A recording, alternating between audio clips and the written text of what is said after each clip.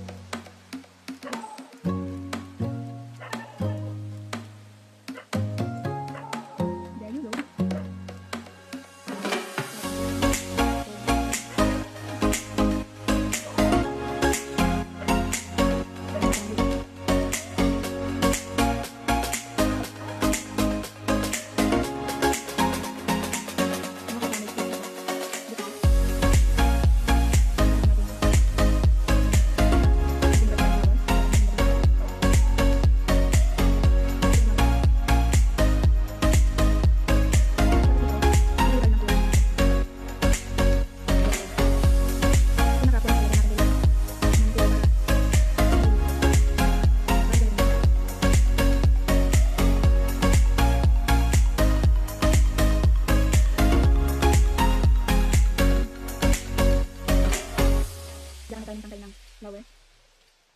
Dahil katong ginagawa ng mga estudyante. Kaya madali lang gawin.